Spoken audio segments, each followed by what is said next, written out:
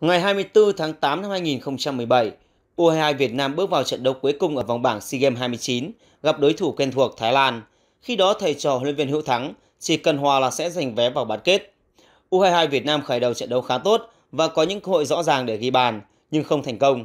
Tình huống đáng tiếc nhất là pha bóng của Hồ Tấn Tài, dứt điểm trúng sang ngang khung thành của Thái Lan ở phút thứ 42.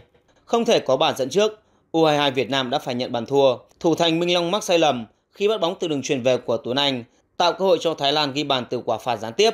Sai lầm ở cuối hiệp 1 khiến Minh Long không còn giữ được sự tỉnh táo. Ngay ở đầu hiệp 2, thủ môn của U22 Việt Nam mắc thêm một sai lầm tai hại khi băng ra không cần thiết va chạm với chính đồng đội Văn Thành, tạo điều kiện để phi cha, dễ dàng nâng tỷ số lên 2-0. Hy vọng dành cho U22 Việt Nam được thắp lên ở phút thứ 66 khi Quang Hải bị Mike Kami phạm lỗi trong vòng cấm. Tuy nhiên, trên chấm phạt đền, Công Phượng lại sút bóng đi vào xa. Không thể tận dụng thành công cơ hội ngon ăn, U22 Việt Nam ngay lập tức phải trả giá với bàn thua từ pha đi bóng, cài người và dứt điểm khôn khéo của tiền đạo nguy hiểm nhất trên hàng công của U22 Thái Lan, đó là Sam Fauri. Trung cuộc, U22 Việt Nam thua U22 Thái Lan với tỷ số 0-3 và phải dừng bước ngay ở vòng bảng SEA Games 29 ở một kiện đại hội rất được chờ đợi vào tấm huy chương vàng.